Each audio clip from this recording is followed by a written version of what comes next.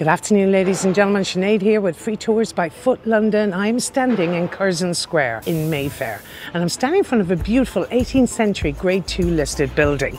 And in the 1970s, the apartment inside this building, number 12, was actually owned by the famous singer songwriter Keith Moon.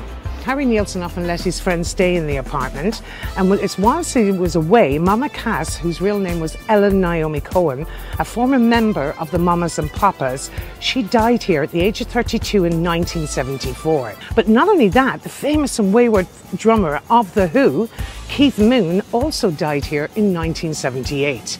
Harry Nilsson was so upset by the deaths of his friends, he ended up selling the flat actually to the bandmate of Keith Moon, Pete Townshend.